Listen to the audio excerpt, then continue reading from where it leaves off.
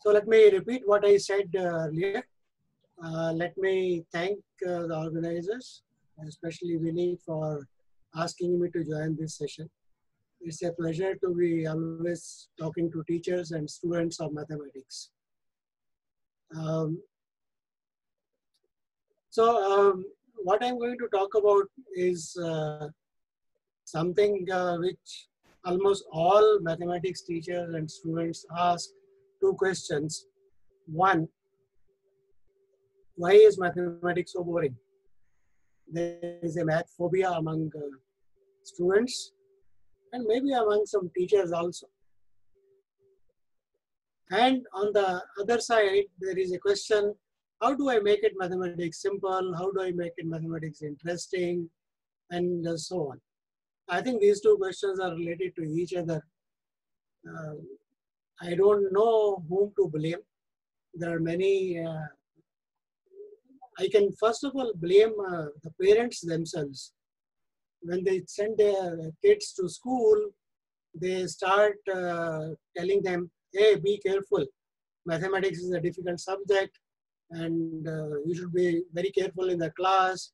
Otherwise, you will be left behind and so on. So even before a person has learned or tried to learn driving, you scare him that the roads ahead of you are full of potholes and uh, there may be accidents and so on. So you already bias your child. Maybe that is because of your own uh, uh, knowledge about mathematics. That is one. Secondly, the possibility is that there is the curriculum is so designed that it does not take into account that mathematics is to be taught in a particular way so that students not get afraid of it, they start loving it. That is a possible thing. And third is the persons who communicate between the books and uh, the student, who take the knowledge from students to, to the students and um, maybe it's a all individual effort. How do you transact your curriculum in the classroom? So uh, today's uh, talk is going to be uh, something about uh, more like input to teachers, how a particular topic, how a particular lesson for a particular topic can be prepared uh, so that your uh, teaching in the classroom becomes more interesting, students find it more interesting, and hopefully you also start enjoying it. So uh, let me uh, uh, say a few words more before I start sharing my screen and doing something. Um, you see, when you want to serve some food to a particular person, you keep into account many things. What are the food habits of the person, whether the person uh, likes spicy food or salty food or non-oily food or oily food and uh, whether the food is nutritious and not. While on the other hand, all our education centers around giving same food for all students. A student may like the food, may not like the food. If you like it, the student will take it. If the student doesn't like it, will feel, remain hungry and uh, starts feeling very uh, sad that, oh, I can't uh, under, understand what mathematics is being taught or what food is being served to me. Right. So uh, I'm going to share some strategies uh, that have worked very well uh, for about 500 teachers in Maharashtra we did a project. I'm getting some interruptions in between. Some others' iPhones are being shown to me, but it doesn't matter actually. Uh, no, please restrict. Please restrict yourself. Yes. Uh, to not. Uh, okay. So uh, let me. Uh, I don't know where was I. My thought process has gone haywire. Yeah, so it was about the project in Maharashtra government uh, where uh, we trained uh, mathematics teachers, two batches of mathematics teachers of one year each, on how to improve the quality of math education. And the basic questions that we had in our mind was how to possibly give solutions to the two questions that I asked. So I will try to uh, say something about that. So uh, it may be uh, that methodology of teaching in a classroom I would like to share with you today. So uh, let me share my screen.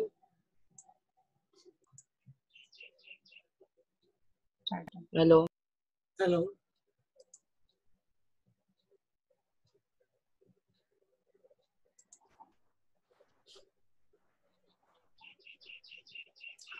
Participants, please uh, mute your mics.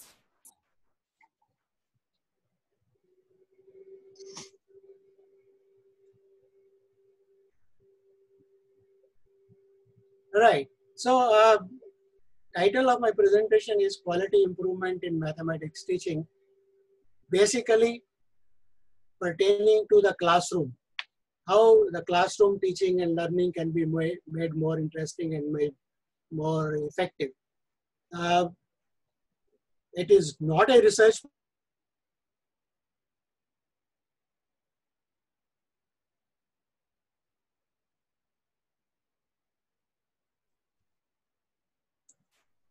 Okay, quality improvement in mathematics teaching. That is the title of my presentation uh, today. Uh, the aim is to give you some inputs that directly you can use in your classroom. So, uh, and hopefully they are very simple and uh, suggestions and that should work for you. Uh, let me begin with asking a question. First of all, this is a very nice uh, quote the mind is not a vessel to be filled, but a fire to be ignited. So uh, teaching should not be taken as taking the knowledge from the books and dumping it in the minds of the students. It's more like uh, igniting a fire in their mind so that they start learning. So there is a difference between the two. So try to understand this quote. And uh, even before that, let me probably, uh, okay. I think let us go ahead. So as I said, the teacher is the link between the knowledge and the students, taking uh, the knowledge to the students. And if you know uh, uh, the concept of functions, this is a set, that is a knowledge, and that is the students, that is a set, and here is a function, that is a teacher. So that gives you mathematically a function. Teacher becomes a function from the set knowledge to the students. So here is mathematics entering into the picture uh, in the uh, pedagogy of uh, teaching and learning. So this is a, um, and if you try to draw the graph of this uh, function, that, that you can call as the learning curve. So let me not go into that much. Uh, so how to make teaching uh, more effective, that is the title of. so there are three steps of teaching learning that uh, would like to propose. And this is the three steps that we have tried in our classroom uh, in various uh, districts in Maharashtra. And all over, uh, there has been a very positive response and many of the teachers have actually started using this kind of technique in their classroom. So in the, the three steps, one is observe and explore. The second is define and prove. And the third is uh, apply and evaluate. So what is the observe and explore? So this is a step that uh, uh, leads to, uh, that is a step that you should be following in your classroom when you want to introduce a concept. The aim is to develop pedagogical and content skills that are necessary for effective as a mathematics teacher to motivate students the topic that you are going to touch. So this is even before we have started teaching a particular topic. This comes as a prelude to the topic that you want to teach. Okay. So here is a, uh, how do you do that? Start your lesson with an activity related to the topic. It can be a video, it can be a puzzle, it can be a game, or it can be a hands-on activity. So pick up something that relates to that topic and uh, conduct it. This should, uh, when you are doing that activity, uh, this should motivate uh, uh, you to ask questions and initiate what is called math talk in the classroom. uh, this is a, uh, very uh, sad thing that we don't allow our students to talk in the classroom and more so about the topic they are learning. So this is what is called math talk. Make your classroom more interactive so that you can ask questions, you can get responses of students and start mathematics, what is called math talk. And uh, there is a lot of research uh, being done. How does math talk help in removing the math phobia and making things more interesting? So try to inculcate math talk uh, while doing that activity. Asking leading questions when you're doing that activity, you can ask some leading questions, solid, uh, solicit uh, students' responses, and discussions should lead. So teacher should be a facilitator leading the discussion to the topic that you want to teach so that uh, the students feel what they are doing is they are discovering themselves. So the knowledge becomes their own. Uh, somebody writing on my screen, please avoid that. Annotating on my screen, please avoid that because that will be recorded and uh, there'll be a problem. Okay. So let me uh, come back to my uh, presentation. Okay. Right. Okay, I have lost now mouse. Okay. okay. Right. Second step uh, in this uh, lesson planning is what is called define and prove. Once you have reached the concept through the puzzle, through the game, through the video, to the concept that you want to teach, then uh, you do what you are regular uh, teaching and learning. That is namely, that step is called define and prove. So this uh, relates to transacting the main part of the curriculum. That is what your curriculum is. So there you will start defining, stating theorems, proving theorems, and so on. Okay. But in this also, try to keep, incorporate what is inquiry and discussion. You should ask some questions when you're teaching, and that should lead to discussion. And while proving theorems, uh, instead of just giving a proof, the reasoning and the proof should be incorporated in that thing. And you probably can say something about frequently asked doubts. As a teacher, you are experienced and you can share what are called frequently asked doubts uh, in that uh, portion that is define and prove when you're teaching a particular topic. Technological tools should be integrated topic wise to strengthen the day-to-day teaching. So I'll be giving you some inputs about the, the technological tools uh, to teach and learn, okay, in a particular. And the third part of, uh, the third part of uh, our,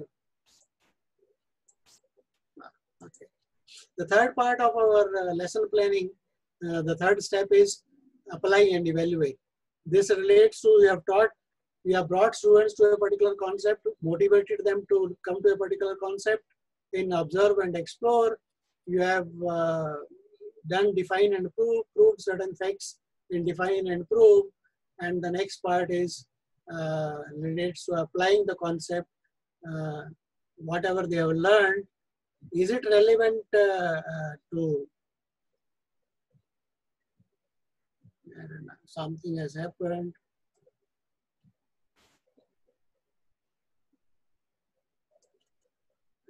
something. Okay, let me just see. Yeah, I think I clicked the wrong button probably. Okay, observe and explore, define improve. And this part is apply and evaluate. Okay. So, uh, as I said, apply and evaluate should be, you can include some non-routine problems which challenge uh, students' thinking you can uh, give some real world applications of the topic being taught. Uh, so that will help you to effectively evaluate what is called effective uh, teaching. Whether the, uh, whether the lesson that you are transacting is really helping you or not. Right.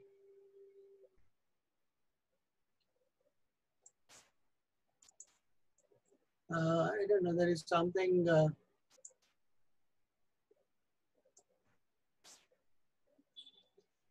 okay. Right.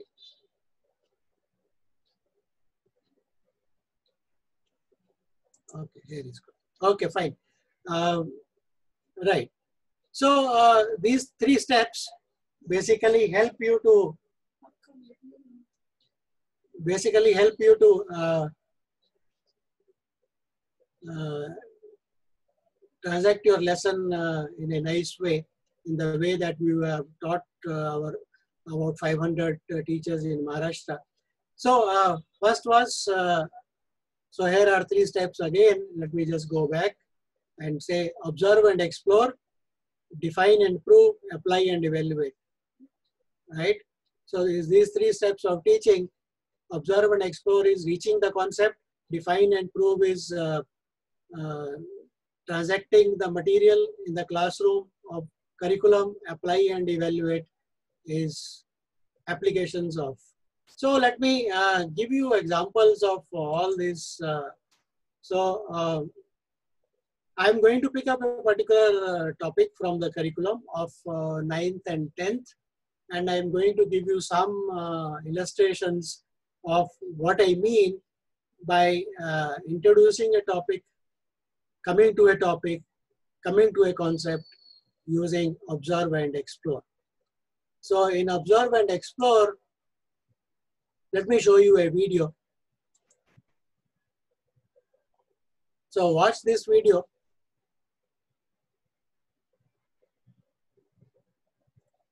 Uh, it should load uh, in a minute, yes. So boys, जब खिच खिच वंदना और खांसी से कमजोर हुआ आवाज तब लो नए विक्स थ्री इन वन खिच खिच वंदना और खांसी नए Vicks three in one So it's a small uh, video. Uh, this is actually an ad which nowadays is being aired on uh, TV uh, before most of the programs. If you want, I can play this uh, ad again and then start some discussion. For the discussion, I will need someone. Vandana or the extreme ones. Some of the people, somebody to respond to my questions. No, sir.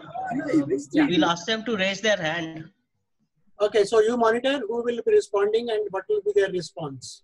Yes, yes, sir. Okay, so in this video, uh, after showing this video to the students, I would like to ask uh, questions like, what did you see in the video? So responses, please. Some of you, uh, you can, all of you can write in your chat box, what is your response? What is this video about? And uh, uh, one of the co-hosts will uh, allow someone to speak about uh, the video. So please go ahead. I want, we want to hear some responses. Uh, yes, so participants can uh, put in their answers. Uh, yes, sir. So someone says that three in one, three problems, one solution. Someone can see. Someone can see magnification and diminution. Good. Someone is talking about the concept of similarity, that a man becomes extremely small or extremely big. Someone is talking about size, ratio, shape, ascending and descending array, big Yeah, and small. okay. So uh, uh, thank you for the inputs. Uh, let me say some of the responses are very interesting. There three in one. Uh, so uh, one tablet solves three problems. That is a good way of interpreting this video. Uh, there is somebody saying uh, this is uh, uh, a video where something is magnified and made small, right? And uh, somebody else uh, said something about similarity and ratio and proportions. So um, you can see uh, the response where something is being magnified and made small if it is an actual classroom, uh, I will take up that uh, uh, that point uh, because somebody saying it is similarity. That means the person already is a teacher, probably knowing knowing probably what is the concept being taught. So I'm keeping in mind that the students for the first time are coming across this topic that we are trying to teach. So let us pick up uh, in the classroom uh, the idea that the video shows something it made uh, big and large. So, right? So the person who made uh, this comment, I would like to ask that uh, student uh, a question back again. When something is being magnified and made small, and obviously we all recognize that is the captain of the Indian cricket team, Virat Kohli. So when it is made small, does the smaller image looks like Virat Kohli or not? Does the magnified image looks like Virat Kohli or not? The obvious uh, answers uh, when you look at the uh, video again probably would be yes. It is only the size of the image of Virat Kohli is made, being made small, but it, it is Virat Kohli, recognizable. So that should lead to something called uh, shape and size. The uh, shape of the bigger or the smaller objects is same, but the sizes are different, right? So understanding that there is something similar, that is the shape is similar, but the size is different. So this brings out that uh, idea of size and uh, shape. So let us uh, go over to this a bit further. So here is my question now. The next uh, question I would like to ask and uh, all of you can put your inputs in your chat box. Uh, there are four uh, pictures shown, one, two, three, and four. So I'm trying to understand that word similar now. Out of these four, can you say some objects are similar to other? If yes, which ones are similar to what? Or maybe none is similar to any, anything. So in your chat box, please put this uh, input, answer to this, what you think could be a response to the question that in these uh, four pictures, maybe one and four are similar, whatever reason may be. Or two and four are similar, or two and three are similar. So put this uh, in your chat box and uh, let the moderator uh, respond back as soon as Uh, yes, sir. So some people are saying that uh, they aren't similar. Some are saying that one and three are similar. Some are saying that two and four are similar. While there are some people who are also saying that the flowers are similar to each other based on their color. Good. So uh, let me go ahead with this kind of responses. You see, the idea of asking this question was the word similar is interpreted differently by different persons. So some people said one and three are similar because both are flowers. Somebody else gave a response that two and four are similar because both are animals, right? Or two and four are similar because of the picture color is black and white. One and three are similar because they are uh, colored pictures. Or one and three are similar because they are flowers. So you see the uh, the aim is trying to make the students understand that the word similar has yet not been made precise by us. It is only an English word and that is very uh, subjective, depends on the person who is uh, trying to visualize these things. So let us go ahead a bit and try to, let us look at this activity now. So here, one, two, three, and four, there are four flowers given to you. And the question remains the same. Which pictures are similar, which are not, and why not? So try to write uh, this and uh, raise your hand. Moderator will try to give your input to me, two or three, so that I can go ahead. Uh, yes, sir. So some people have answered that one, two, and three are pink flowers, so they are similar. What? Some are saying that one, two, and three are similar because they are pink color flowers. Yeah, Some are saying that two and four are roses, so they are similar.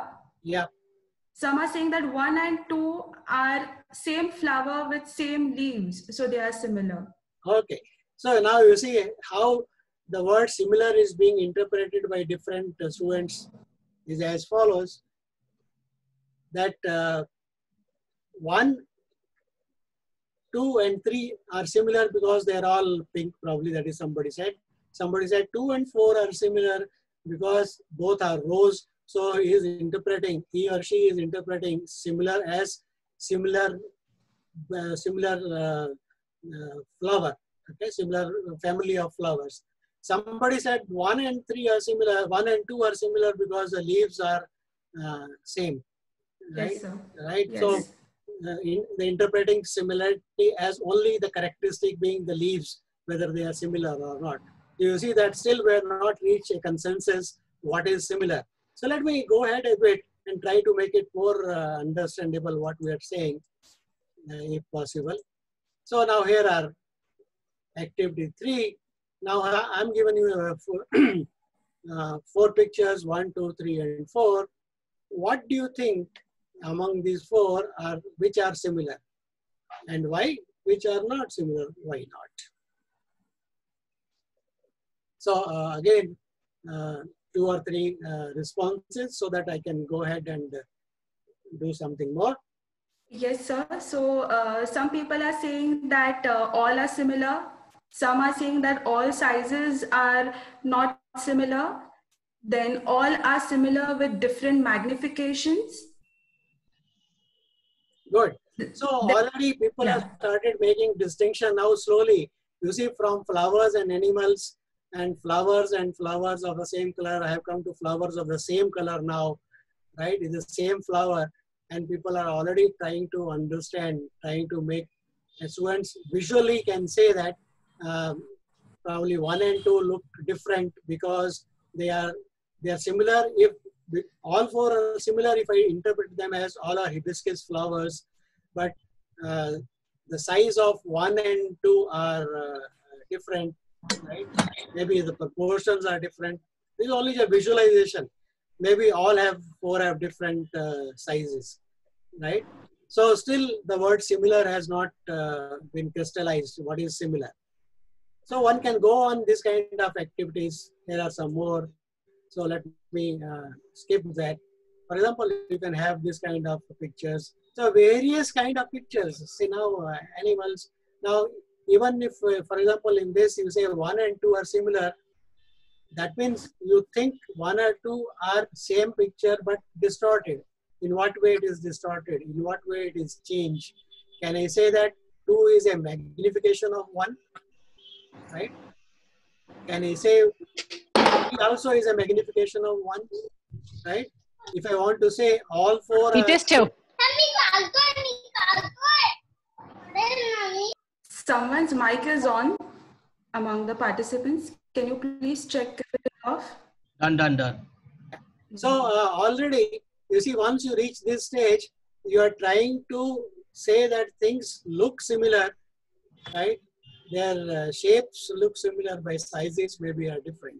So idea of all this uh, exercises was to bring to uh, uh, the forefront the idea that there is something called similar which should depend on the shape and size. So these things, okay. Now, for example, here is something interesting. Now look at these four pictures. One, two, three, and four, right? All four are of the same flower, same uh, flower called hibiscus, right? And all seems to be not only same, they are all flowers of the same family, same color, same leaves, they are similar. In fact, all are copies of each other. Why are they copies of each other? You can try to see that one or two are reflections of each other. Okay, this is a rotation of uh, three is a rotation of uh, uh, one, and four also is a rotation of one. So I wanted to show you this uh, uh, slide, especially because when you are comparing sizes and shapes of objects, something physically that comes in uh, uh, mind is namely uh, physically what you will do is you will rotate objects, you will flip objects, you will translate objects, and that is a dynamic aspect of geometry, which unfortunately we don't teach in our classrooms. We teach geometry as a static subject. That's why it becomes a slightly more dry. When there is movement, things become interesting. So there is a dynamic version of uh, saying that all these four are same. Basically, that one is a rotation of the other, or one is a reflection of the other, or one is uh, uh, translation of the other, right? And that is more also useful in when you go to congruence. So uh, of triangles. But anyway, till now, whatever we have tried to do is try to bring in what is similar. Similar should mean something that is same in shape,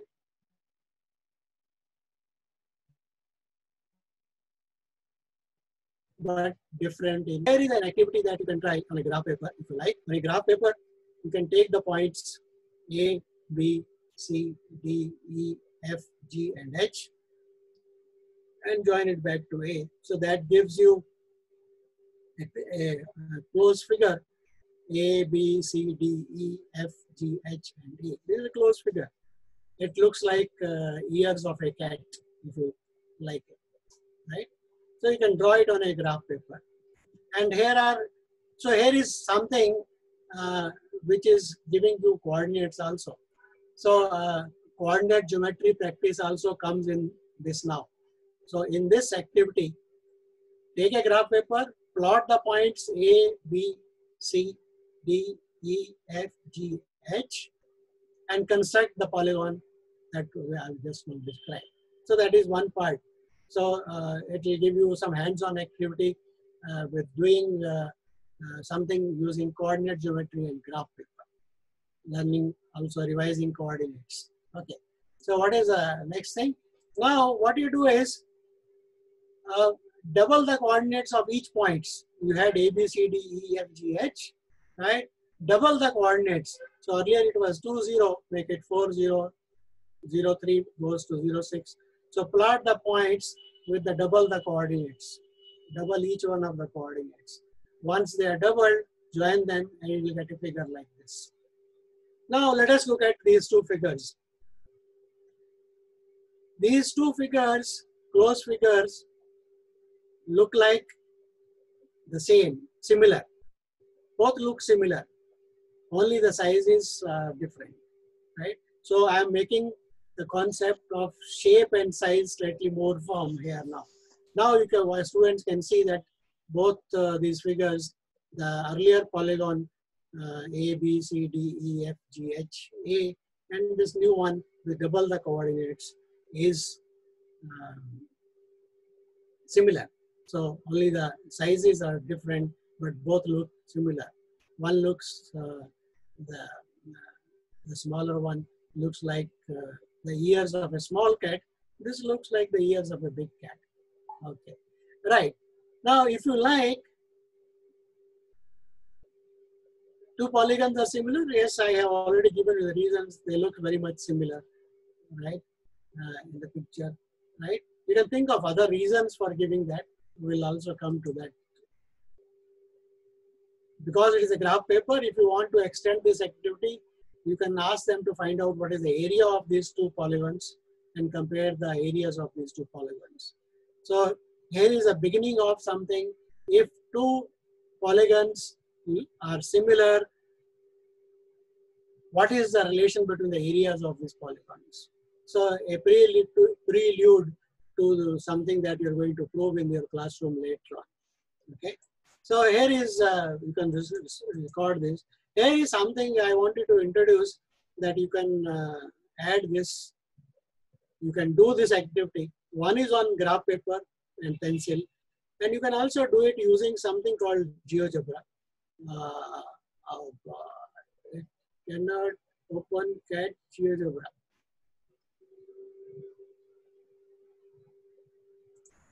Uh, okay, I'll, I think I'll uh, come to this GeoGebra a bit later. The GeoGebra is a dynamical uh, geometry. Uh, GeoGebra uh, is a dynamical geometry software that helps you to uh, do many things, almost everything in geometry and much more in a more dynamic and interesting way. Uh, probably I should do this uh, GeoGebra thing. Uh, if I can spot and uh, let me see if I can spot that because something has happened. Uh, my link is not working, but I can still uh, try to see if I can locate that. Uh,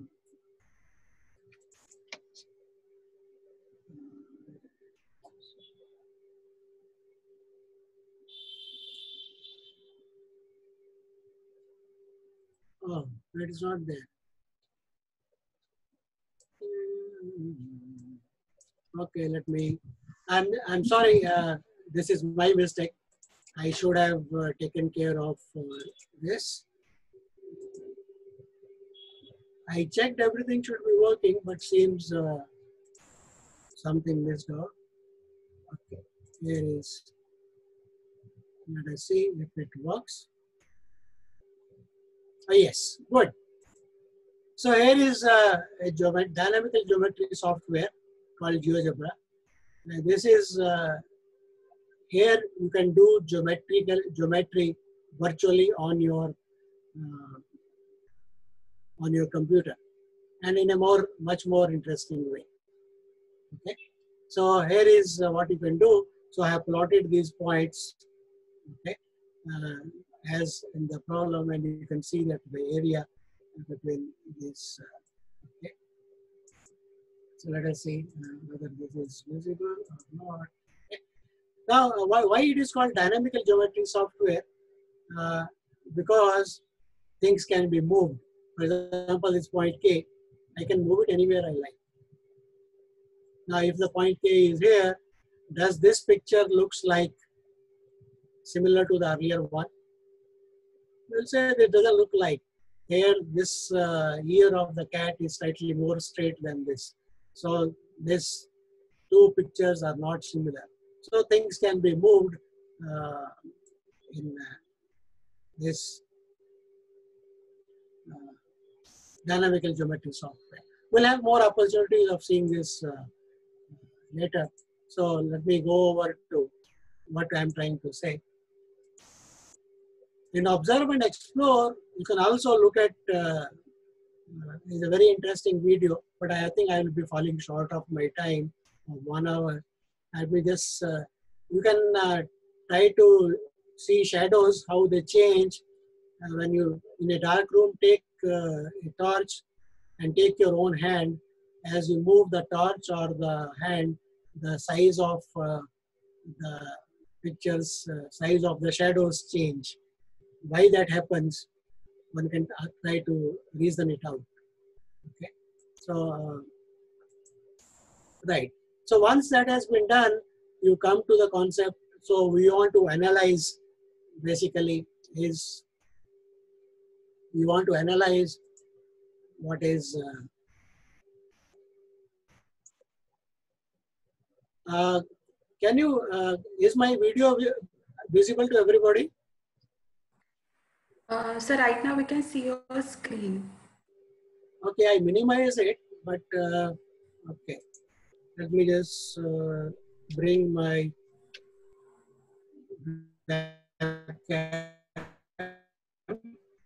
so that I can toggle between the two. Oh, it's already in uh, use somewhere else.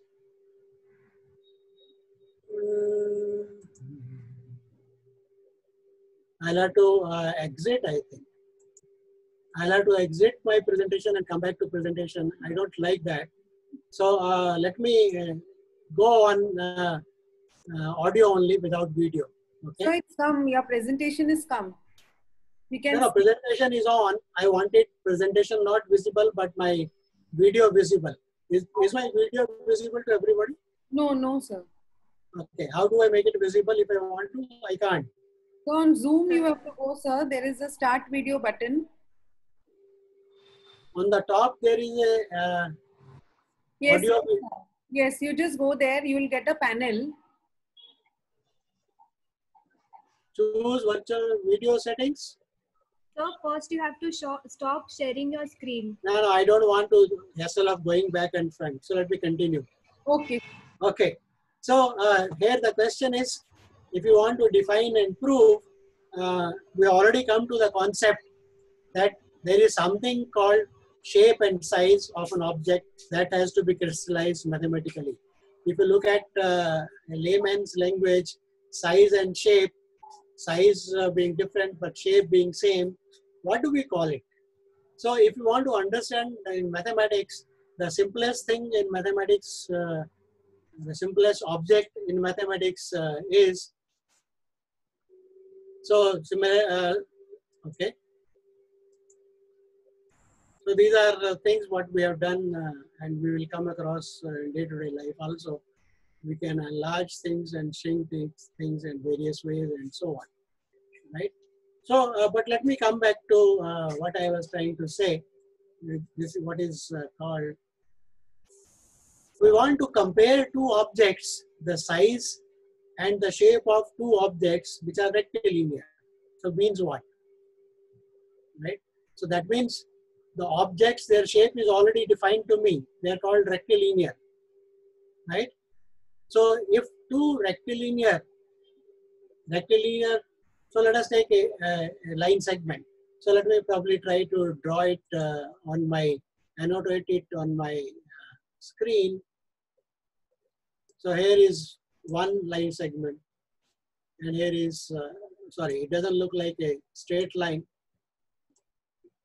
Let me uh, try to draw.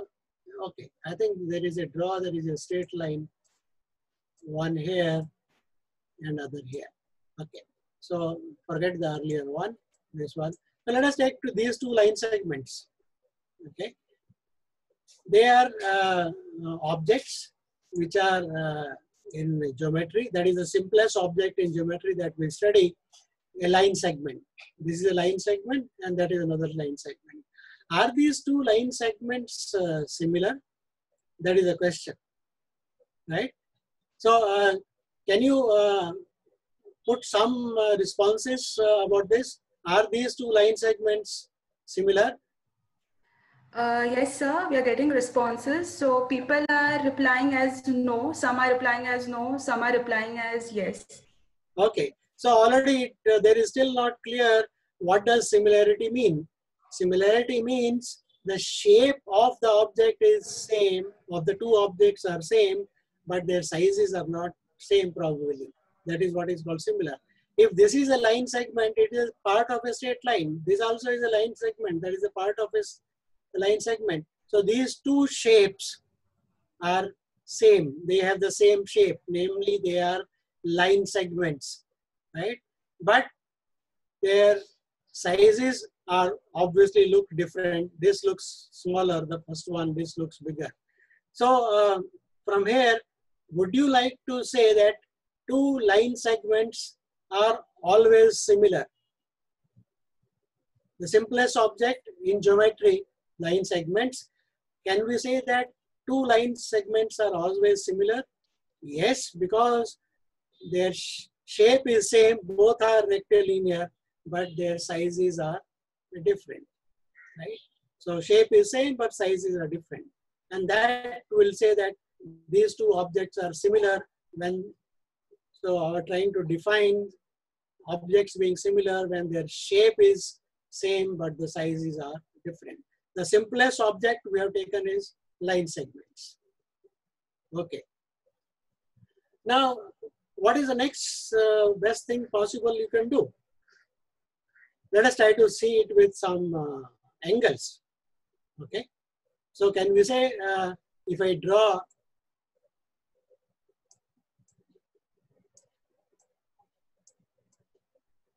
these two, are these two angles uh, similar? How do I check whether these two angles are similar or not? What is an angle? So that brings us to the concept of what is an angle. to me here, uh, as I have drawn it, it looks like from this point, if you call it as, uh, okay, uh, I want to name these things, so I have to go to draw and uh, okay. So this is A and this is B. I'm writing with my mouse, so my handwriting is coming very bad. So this is D and this is E and this is F. Can I say these two angles are similar? What is an angle? It is made up of something that is captured between two, Yes, so we have some responses. yes, So angle is union of two rays. When two rays meet at a common point, then we get an angle. okay, And uh, people are saying that yes, the two angles shown on the screen are similar. Union of two rays with common origin. yeah, okay. Now, if you want to say these two angles are similar or not, what you will try to do? Probably you will try to translate this angle here and probably rotate it and then try to see whether the lines match or not, right?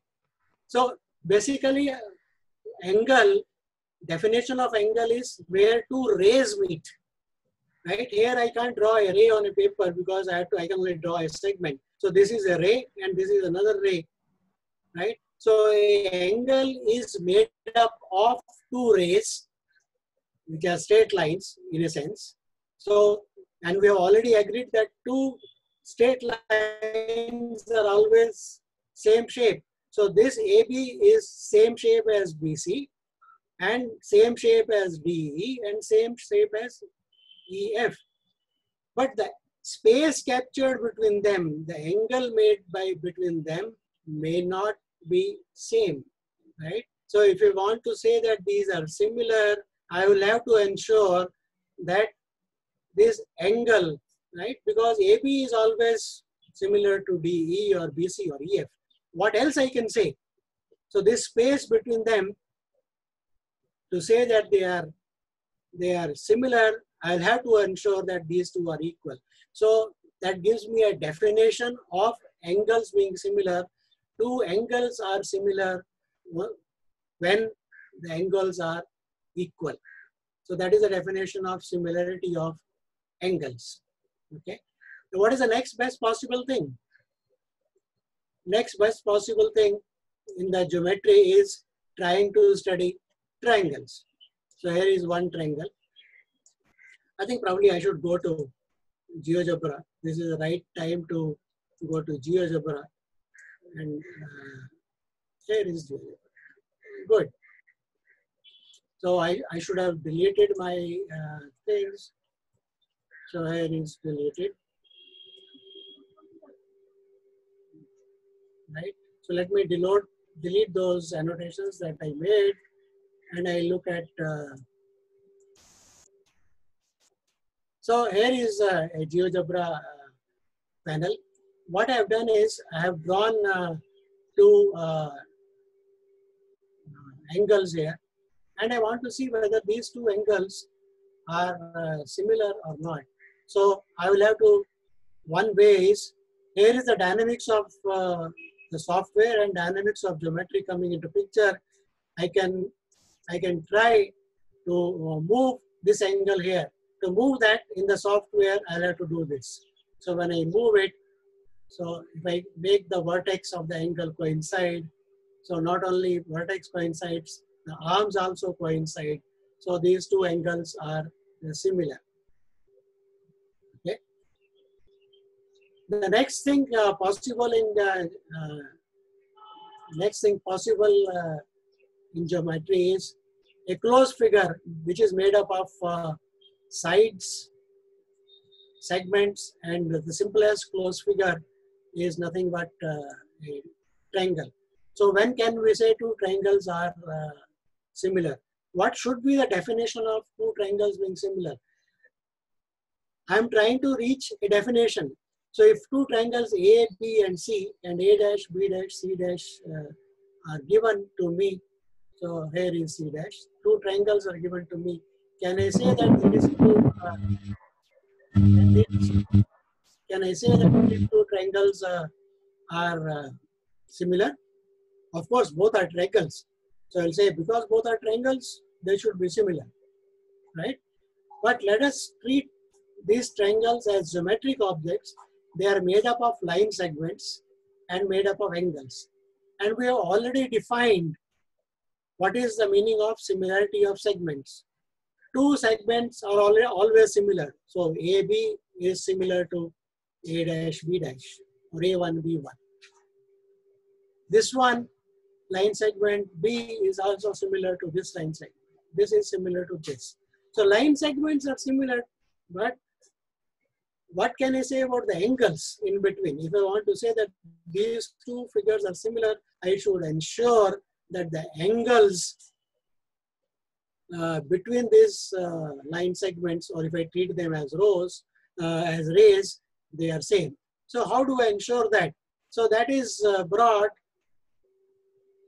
by, uh, I can do that. So here is a way of doing that. I am moving, I am moving my, okay. So in physic, uh, physically you will think of lifting the triangle and sliding it, translating it over the triangle. So this angle is equal. So this segment is equal, is similar to that segment and the bigger segment is, is similar to smaller and the angles are same. So this angle is same. I can also take it uh, on the other thing. So I can also move it uh, here. So these angles are also equal. And the third one, I can see that these two angles are also equal. So in these two triangles, okay, I can also look at this way. Are these two triangles similar? Yes, because this line segment is similar to this, this line segment is similar to this, this line segment is similar to this, and the angles for this is equal to this. But this angle is not equal to this. So here comes the idea of correspondence. If I want to say that two triangles are similar, one triangle is ABC, other triangle is A1, B1, C1 or A dash, B dash, C dash. These two triangles are similar if line segments are always similar, but which angles are similar or not, that I have to verify. So maybe this angle is similar to this, or maybe this angle is similar to this. So in that case, I'll have to rotate this. So that is the idea of correspondence. Two triangles are similar requires a correspondence. And what is the correspondence? ABC has three vertices, A, B, and C. A dash, B dash, C dash has three vertices. A correspondence is a one-one onto map. You correspond one vertex of one to another, second vertex of one triangle to second, some other vertex of and third vertex to third. In that correspondence, the corresponding angles should be equal for the corresponding segments. So that is uh, uh, a very uh, subtle concept where students make mistakes in understanding why a correspondence is required, right?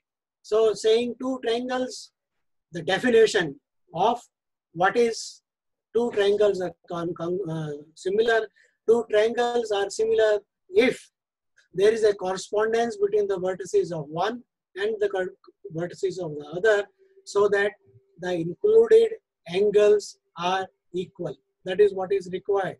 That's all. That is the definition. That is what is required. And once that definition is made, then you prove uh, various uh, theorems uh, that that uh, two triangles are similar. Then you prove that their sides uh, are in a particular ratio. And conversely, if the sides are in a particular ratio, then the angles are also equal. So equiangular is similar and the sides are in proportional. Those are all theorems which you prove uh, in your textbook and you will do it in the classroom. But all those theorems, if you uh, do it with the GeoGebra, you will be very happy because the students uh, will see the geometry of it. So one is in similarity, there is a correspondence that is a map, one one map from the three vertices of one to the three vertices of other. And then there are transformations called dilations and rotations. Now, this is a very, uh, this is an activity which I had done in my childhood. Um, I wanted to be a painter, but I could not. So then somebody told me this is a very good way of uh, uh, making, making a drawing of your picture when the computer softwares were not there. Given this picture, here is the picture of a, uh, a small wolf, okay? Um, and if you want to magnify it, what you do is draw small squares, right? And then draw a bigger, a bigger, uh, if this is three, and you want to enlarge it three times or four times, a bigger proportional uh, rectangle, and draw those many uh, uh, squares inside as the original one. And then you draw this small ear, so then you draw this small ear kind of thing, right? And then this curve going here, and you draw this curve in this.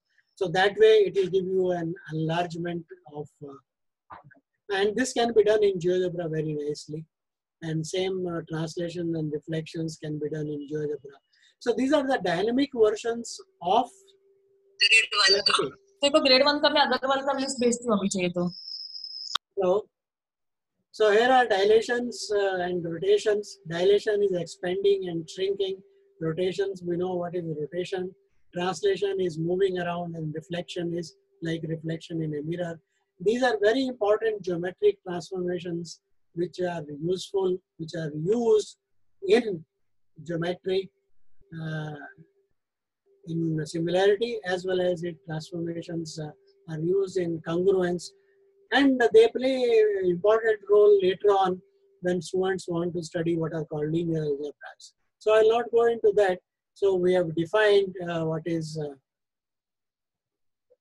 similarity in, uh, okay. Right. Uh, I think I picked up a wrong uh, presentation.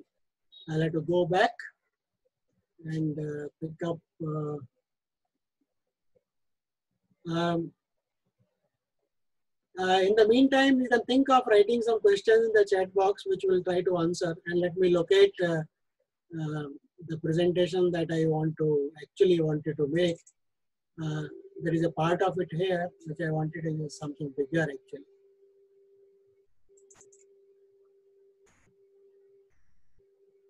Okay. The remaining part of my presentation is, I think, here and let me see what it is. Now, oh, that is also there. Okay, I think there is a slight issue. Uh, let me.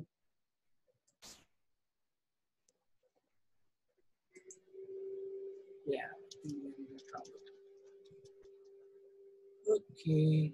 Let me just uh, give me a minute. In the meantime, please write your questions.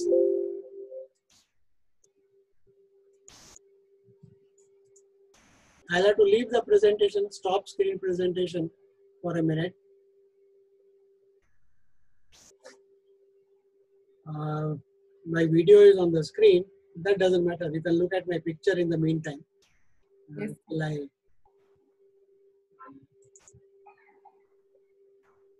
I That is also a problem. Um,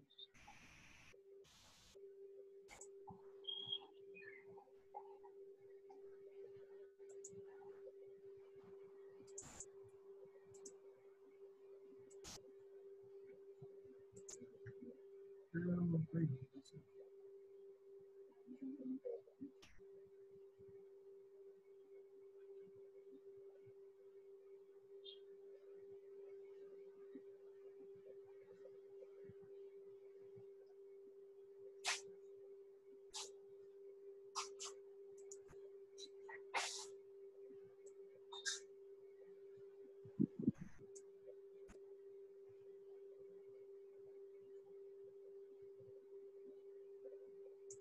Okay, uh, is my presentation visible? No, sir. Okay, I'll I'll share it again. I think I have not shared it. So where do I? Okay, share screen. Yes, sir.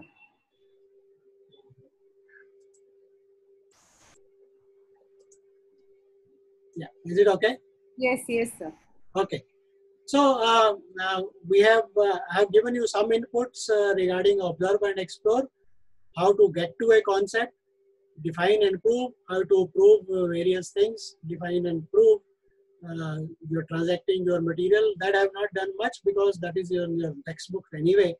And I want to say uh, share something about uh, apply and uh, evaluate. Uh, let me also say something about uh, in your uh, in uh, your textbooks on your curriculum, you only deal with the similarity of triangles. One can ask a question, when do I say to uh, rectangles next four-sided figure closed, when do I say a, a rectangle is, uh, two rectangles are similar? Can I say two rectangles are similar? When do I say it? What is the definition of two rectangles being similar? When are two pentagons similar? When is a hexagon, two hexagons similar? We saw that example of uh, two cats, uh, the ears of two uh, cats, one smaller, one bigger. We said they look similar. Yes, they were similar, right? So, um, what makes them uh, this kind of a thing, right? So, what could be a proper definition of saying a closed figure has it to be closed? Or any figure in one, uh, two figures are similar? That is a very uh, interesting question to answer because we can try to answer very nicely what is similarity for figures which are rectilinear, line segments, angles, triangles. We can also do it with without much difficulty. Uh, say two, two rectangles, we will say two rectangles are similar because they have the same shape, right? Only the sizes, if the sizes, what are the sizes of the sides? The two parallel sides are equal, pairs of sides. If they are proportional, then we'll say that uh, these two rectangles are similar. So we can define for that. Similarly, we can define uh, two, say, hexagons, all uh, closed hexagons all internal angles uh, are equal and uh, if uh, the sides are proportional then they will be similar. Now that is a, a nice thing to do in GeoGebra. You can uh, uh, probably uh, let me quickly do it for you to to help you understand that GeoGebra is not difficult. Okay, so let me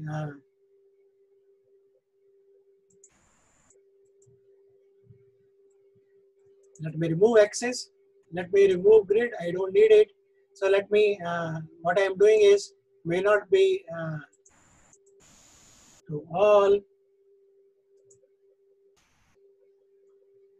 Okay. Uh, why i'm doing this you'll just now see. Uh, so let me uh, make uh, what i was trying to say regular polygon.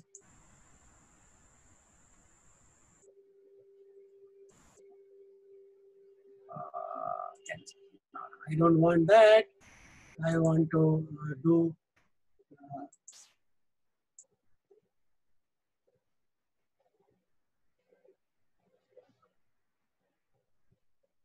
Okay, so let me draw a point first and then uh, draw draw a segment.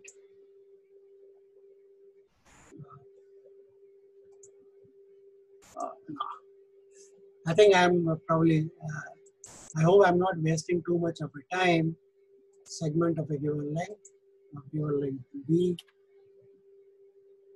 So it gives me a segment of a given length B. And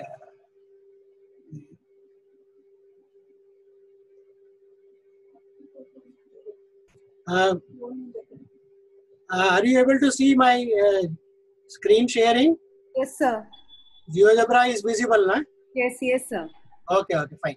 I was just worried that uh, you shouldn't be seeing my face. Okay, AB. So I was trying to do a. Uh, okay, let me regular reflect. Okay, and I want another slider. So a slider here. And okay. I'll just explain in a minute what I am doing. Okay, so I want a regular uh, polygon.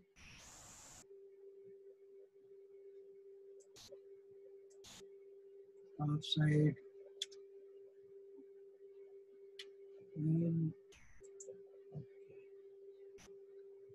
Yeah. Now I'm done. What I'm doing is, see, I'm constructing a, a regular polygon. So it is this number I should have uh, made it an integer. So let me number properties.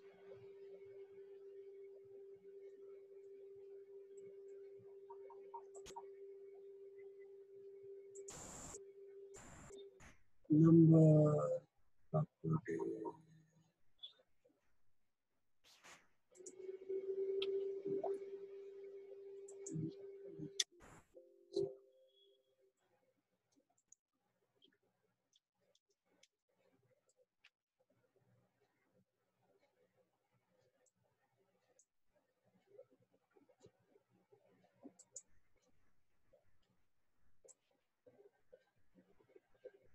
See, as I move the slider, you can see, uh, so this is the 15 gon and so on.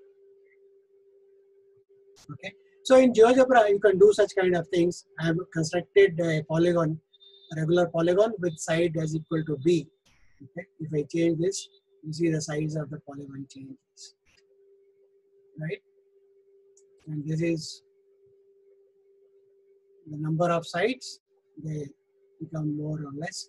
So let us take uh, a, a regular polygon. Okay. So this is a regular polygon of side as uh, b is 1.6. So we know all the internal angles of this polygon uh, same as uh, if I draw another one, right? So what will be the ratio of, uh, right? So what will be the uh, ratio of this polygon with the other one? For that, uh, I can uh, draw uh, another one. Uh, okay. So let me, uh, to make it really interesting, so let me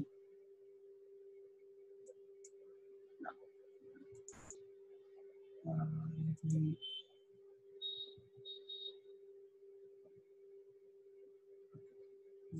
okay. Segment.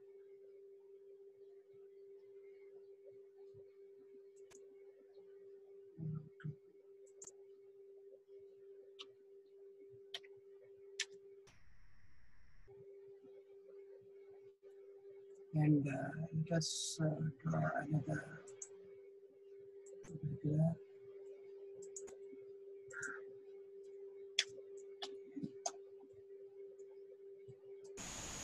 Okay, so I think uh, we are in a good shape now.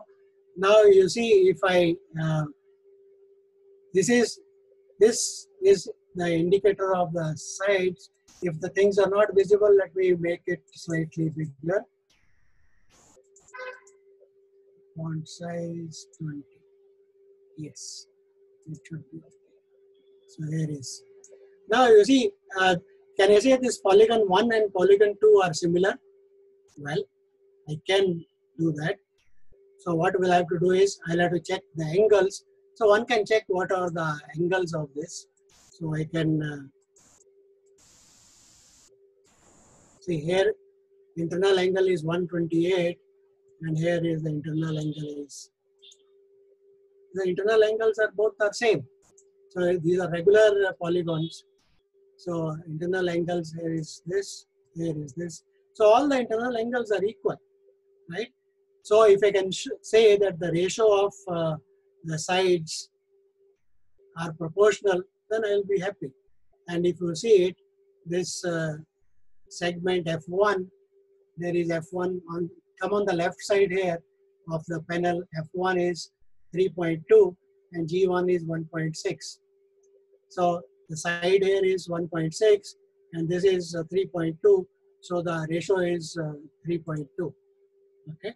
So uh, the sides are proportional and uh, and uh, the angles are equal. So these two hexagons are similar. Okay. So let us increase. You see, this is what is dynamic geometry software. I can increase the number of sides. Okay. So angles remain equal. Internal angles are equal for both and the, the sides are proportional. So I can say this polygon 1 is similar to the polygon 2.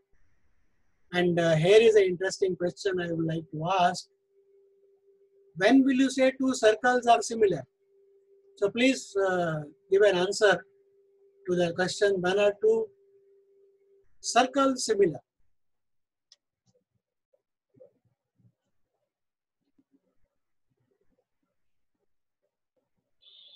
Yeah, so inputs please. Yes, so participants can put their answers in chat section. Yeah, so some responses. When are two circles similar?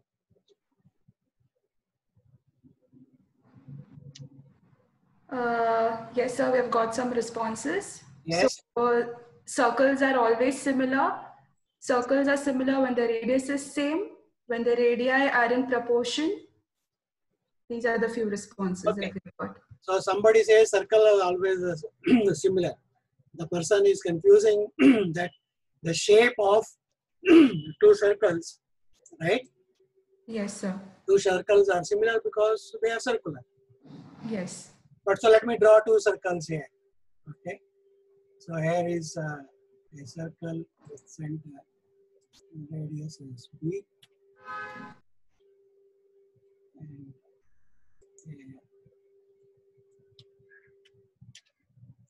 So here is the other one. Okay.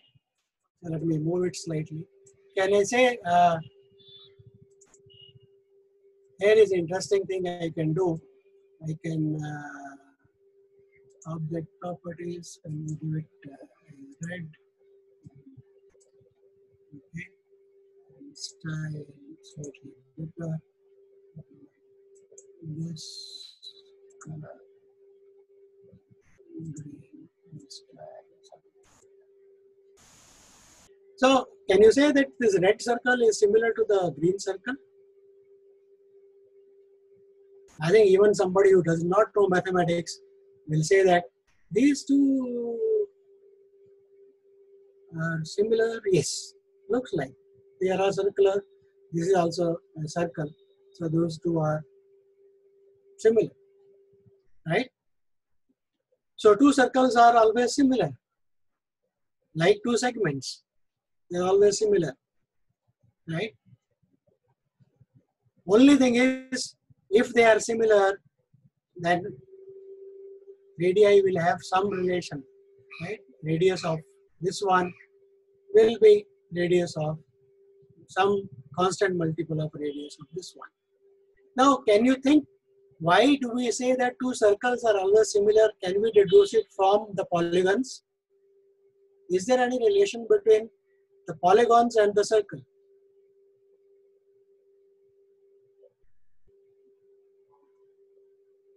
So that is a question. Probably, I think, uh, has does anybody have an answer to this, or uh, want to venture why? How do you get that two circles are always similar, right? Because the shapes are same. Yes, sir. One of the participants has also responded as sum Yeah. of angles, Angles of sum of angles in polygon. mhm. how much is sum of the angles in the polygon? It is Angles of circle are 360, complete 360 degree. Yeah, that is interesting. You see, you think of circle as a regular polygon with how many internal angles? There is no concept of internal angles of a circle. So the way of visualizing that is for a circle, what are the characteristics? A circle is determined by the shape of this. It is a locus of all the points at a particular distance, right? So it is the distance of this from any point on the locus that matters. So any two will be similar. Another way of looking that would be if you look at uh, two uh, polygons, as you keep on increasing the number of sides, it becomes a circle. So let me uh, show you that. After some stage, you will not be able to visualize it. So let me increase. From 10, I am increasing. Oh, it's going very big. Maybe let me probably uh, shrink it a bit. Zoom.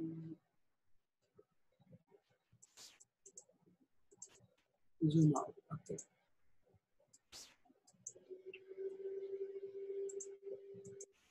Let me move it here and let us uh, move these objects. Okay. They are overlapping, but I can't help it. Now you see, as increase the number of sides, what is happening to n-gons? The number becomes much, much large, they almost tend to become circles. So uh, the idea is as as the number of sides increase, a polygon n-gon tends to become a circle. So internal angles become equal. It's only the side, the distance from the center of it, which depends upon uh, the side actually, right? That become equal. See the for a n-gon, the center to the point, okay, that distance depends on the side of it, so one can. Okay, so uh, I just wanted to uh, say that if you like in your classroom, you can extend the idea of triangles being similar to polygons being similar and then say what could be the definition of circles being similar, right? In general, the idea of uh, idea of uh, two uh, figures being similar is more complicated. That requires more discussion. So here is something about apply and evaluate. Uh, do these things have any applications? Uh, yes, lot of it. So what is it we are doing? We are looking at similarity of uh, objects.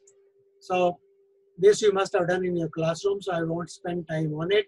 That if you want to find out the height of a flag post, you can do it uh, by measuring shadows. You try to put a stick. Supposing sun is somewhere on the top, on the right side, the light rays are coming. Light rays hits at B and then it gives a shadow. So AC is the shadow of the pole. You can try to put a stick in between ED so that the, the shadow of the stick matches, the top matches with C. So once you do that, then you understand that these two triangles CED and uh, BCA are similar. So the sides must be in proportional.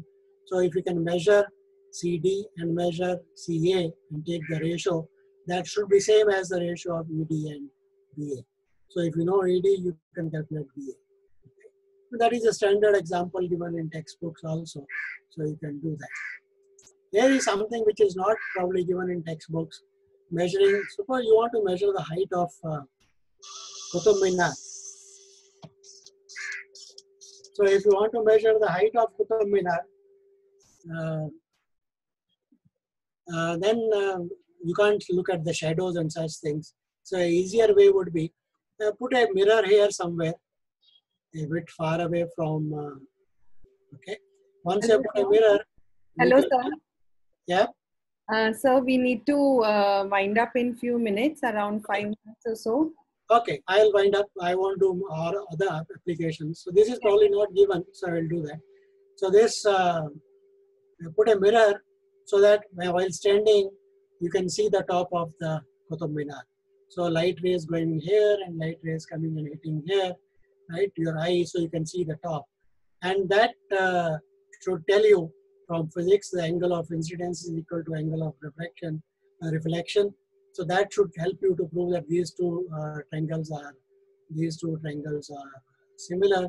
And if you know the height of, uh, uh, height of uh, AD, you can calculate the height of the Qutub Minar once you know what is the distance AC and what is the distance BC. So these are applications and all this can be done in GeoGebra. They can be very well uh, done in GeoGebra to make things interesting for students. So these are useful in making maps. Okay, there are problems in uh, shadows. Uh, probably I'll just, uh, here is, uh, okay, here is a problem which you can try. A man is standing on a road and there are lamps on both sides. From this lamppost, the shadow falls at the base of this lamppost and from the lamppost from the right side, uh, left side, the shadow of the man falls at the base of this. Suppose that is given to you. Okay. And suppose you are given what are the heights R1 and R2 of the lamps. This R1 and R2 are given. And the height of the man is, uh, say, R. So what is the relation between these three heights? Height of the man, height of the lamppost R1 and height of the lamppost R2. So what are the relations between these three heights? You can try to solve later on and uh, try to interact. Okay. The man's height is R, so what is the relation between these? Okay. So uh, let me wind up uh, this session by uh, recalling what I have done. I have tried to give you input on how to go about planning your classrooms. You should divide it into three parts. First part should be observe and explore, where you should do something. You see, uh, showing a video, doing a puzzle catches the attention of the students, right? Uh, it tells the students you are going to do something interesting. You are not going to repeat what is in the classroom, what is in the curriculum written down there, right? And that will also help them slowly to come to the concept. So observe and explore, bring to the concept, define and prove, do what your classroom curriculum says, and apply and evaluate.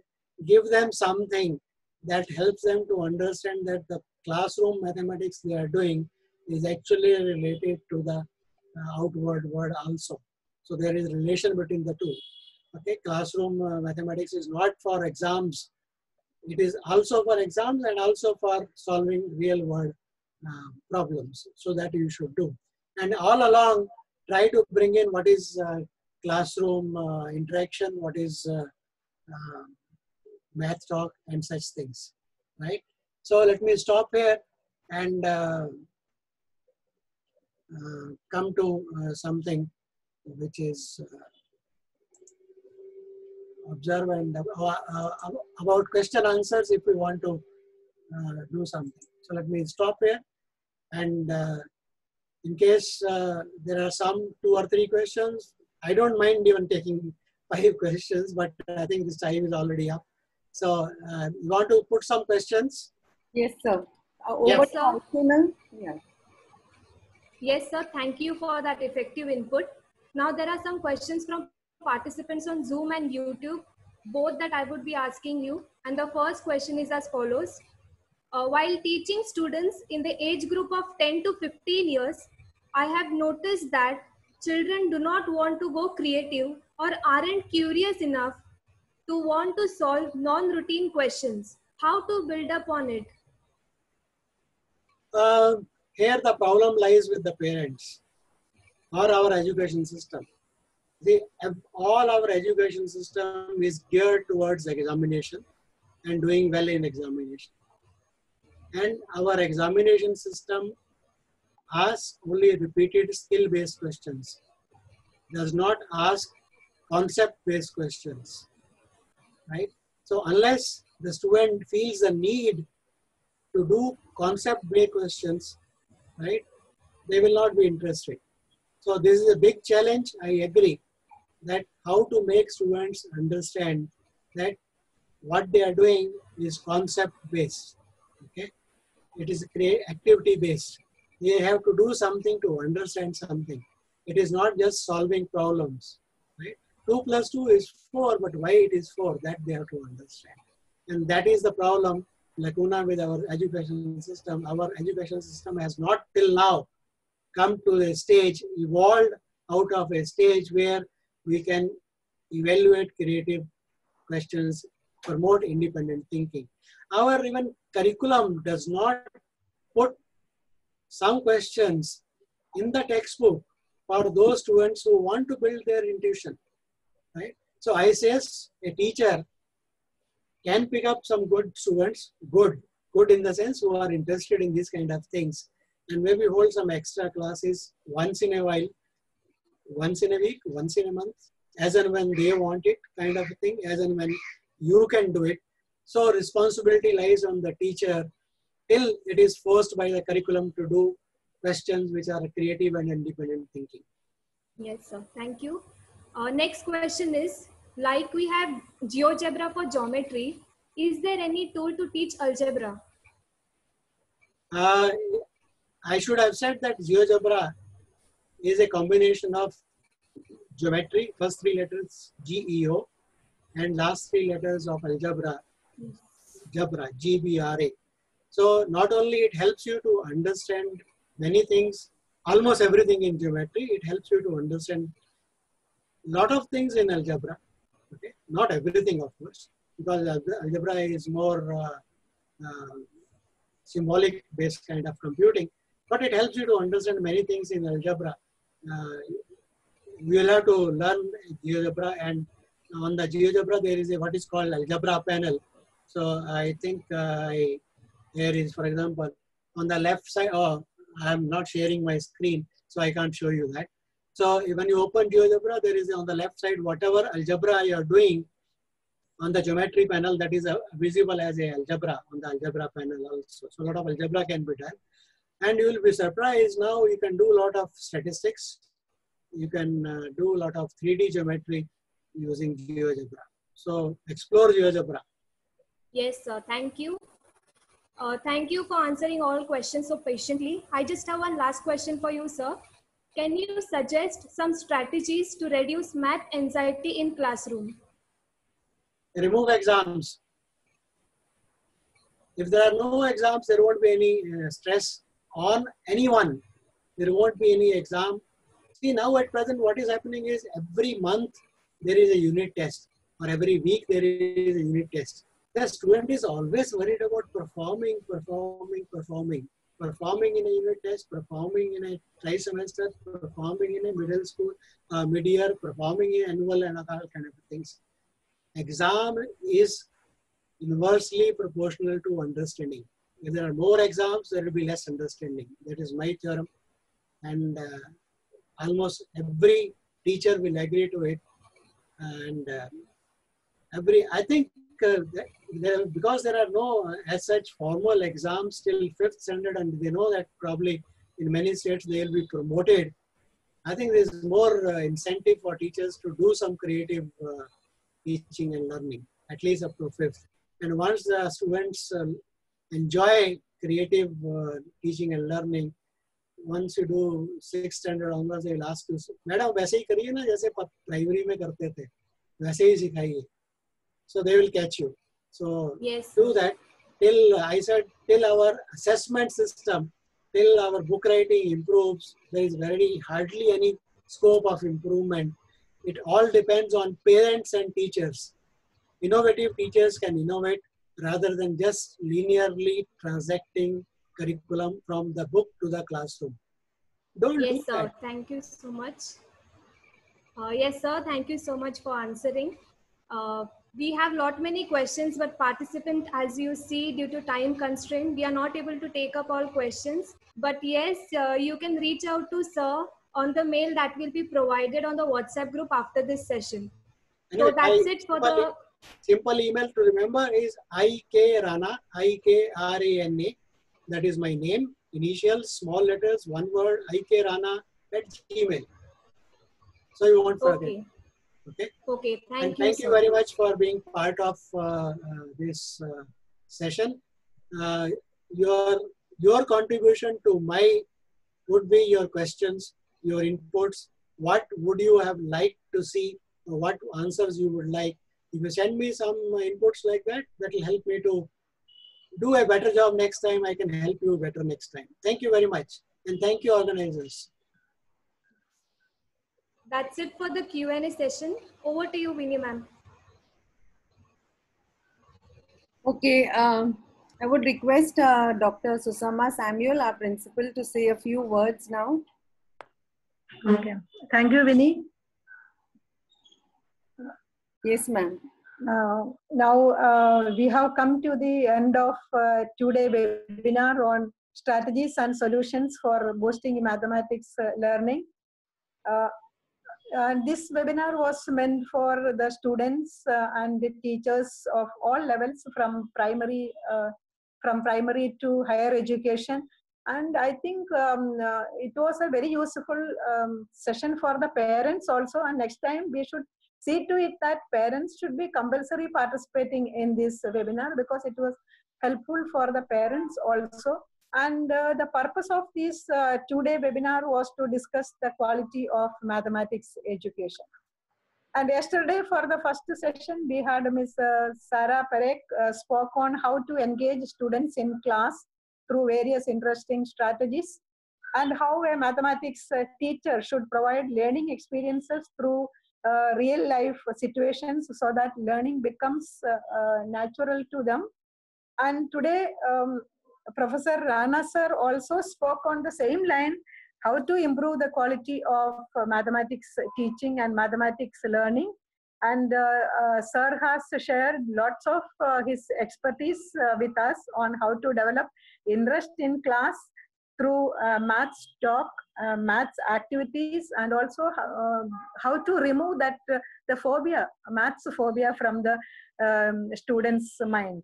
So both the sessions uh, were very informative very informative and uh, in the coming sessions and in the web series i think we will discuss various factors to improve the quality of mathematics education from different dimensions so this uh, initiative uh, was conceived and conceptualized uh, by Dr. Vinny Sebastian, Associate Professor, and her Mathematics Pedagogy Unit.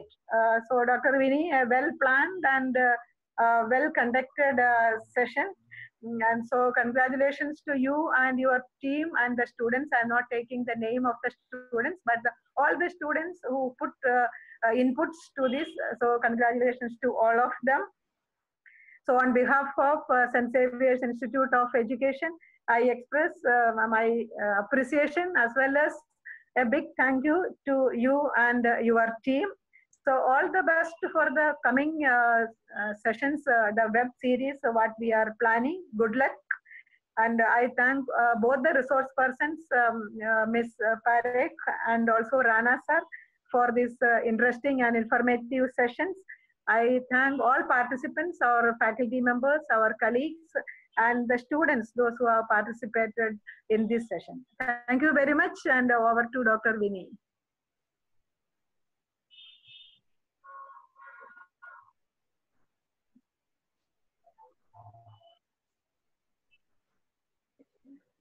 I think you can wind up.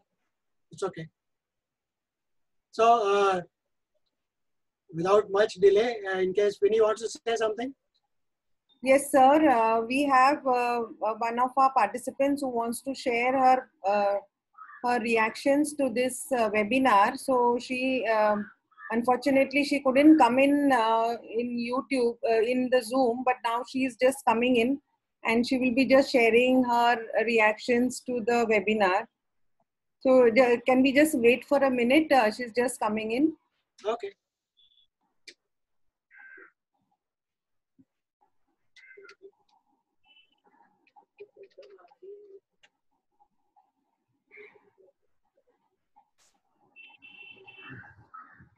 Video बंद कर दो। Solar भी बंद है video बंद कर दो।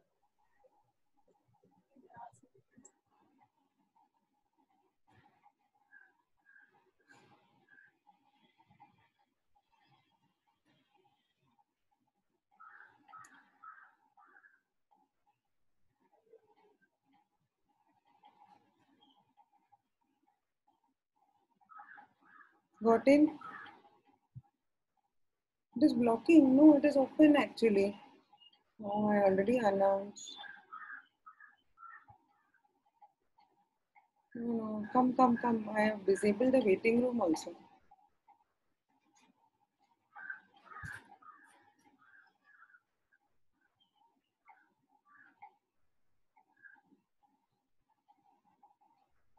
Okay, in the meantime, uh, I would just remind the participants about uh, the feedback form, which is going to be uh, posted on the uh, WhatsApp link. Uh, please uh, fill the feedback form and maybe we'll take some time to enable the certificates for those who have attended both the days.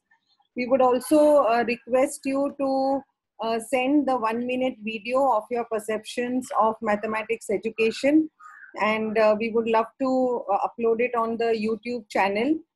We also request uh, you, if you are a resource person or if you want to speak up on uh, innovations which you have done in mathematics, please write to us on the email ID which is given in the brochure so that we can have, uh, uh, we can continue this journey which we have started. We want to see that there is some difference made in this area of teaching learning and we want to contribute uh, a lot to society. So I would love to have all of you on this platform and journeying with us towards our objective.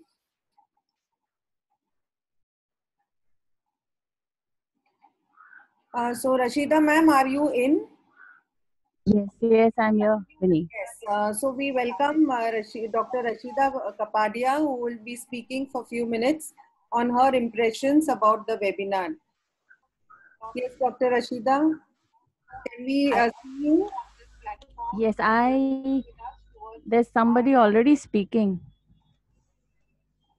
Okay. Uh, uh, so, Rashida, ma'am, are you in? Yes, yes, I'm there, Vinny. Yes, uh, is my audio? Uh, Rashida, you have to mute your YouTube. If you are on YouTube, also mute that. Yeah, I'll do that.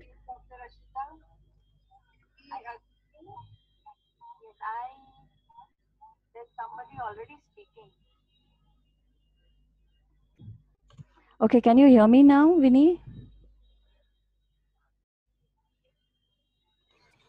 Yes, ma'am, we can hear you. We can hear you. We can. Okay, okay. Um, a very good afternoon to all. Um, yeah.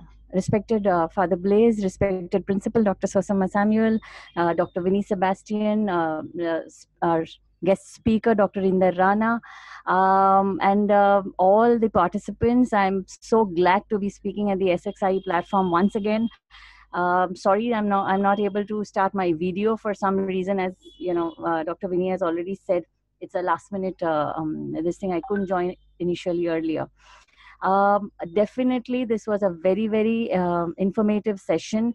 The, yesterday's session and today's session both were very well planned uh, giving us an insight into details about how elementary education and higher education can be considered for maths. And uh, especially dr inder rana we thank you can't thank you enough actually because you gave us a lot of examples that will help us a uh, lot uh, in your use that we can use in our classes. So uh, i am just too glad that uh, you know that uh, what St. Xavier's Institute of Education, the Math, Mathematics Pedagogy Unit is doing, reaching out to teachers and teacher educators for making maths, uh, you know, more enjoyable. So kudos to the group, the uh, student uh, team as well. And uh, we hope to continue interacting and uh, get uh, being a participant to such more interesting series thank you all and um, a big big thanks to st xavier's institute of education for having organized this. Thank you Rashida ma'am. Over to alsona. Alsona? Yes ma'am. Uh, okay. So on behalf of st xavier's institute of education manager father blaise d'souza Principal Dr. Sosama Samuel, and Mathematics Pedagogy Staff in Charge, Dr. Vinny Sebastian, I would like to extend a hearty vote of thanks to our speaker, Professor Inder Rana, who has enlightened us all with an amazing session today. Thank you, sir, for accepting our invitation readily for this webinar. We are really grateful to you for sharing your knowledge with us. I am sure that all our participants today have gained some amazing insights on how we can improve teaching. Elaborating on three steps of teaching based on your experience in various districts of Maharashtra. Through your session, you have also helped us all develop the pedagogical and content skills that are necessary for effectiveness as a mathematics teacher. You have also shown us actual demonstration on GeoGebra, which I am sure every participant will agree as an excellent hands-on experience. So thank you once again, sir. We couldn't have asked for a more better resource person. Next, I would also like to thank our dear manager, Father Blaise, and Principal Dr. Sosama for allowing us to organize this math webinar. I would especially like to thank our staff in charge, Dr. Vinny Sebastian, for coming up with this wonderful idea of having an online math webinar in current COVID situation. Thank you, ma'am, for your support. Thank you to our student coordinators, Neville Sharma, Riesel Gonsalves, and Clarice Lemos for being the strong team behind the curtain and providing technical support.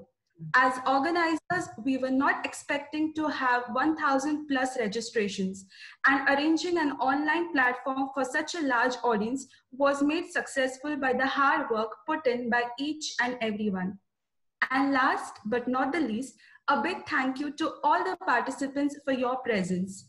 Without each and every one of you on Zoom and YouTube, this event wouldn't be successful. And we hope that you are taking back something with you from these two day sessions that you will make use of in your respective field. So thank you for making this event successful with your enthusiastic participation. And with this, I will end my vote of thanks. Thank you, everyone. Thank you, sir. Okay. Welcome. My pleasure. Okay. Thank you, sir. Everybody take care. Safe home back. You're already at home, so be safe. Thank you, sir. Yes, sir. Thank you, sir. Thank you, sir. Thank you very much. Thank you, ma'am.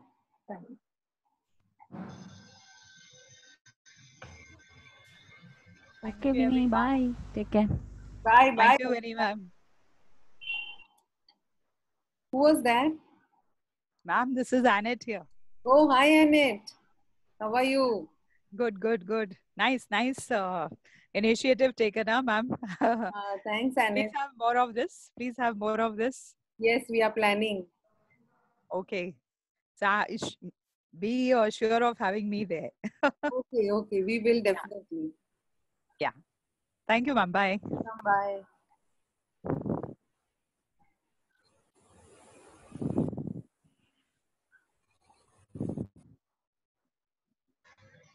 Ma'am, we leave the uh, meeting room now. Yes, yes. Thank you, ma'am, for everything. Thank you, Neville.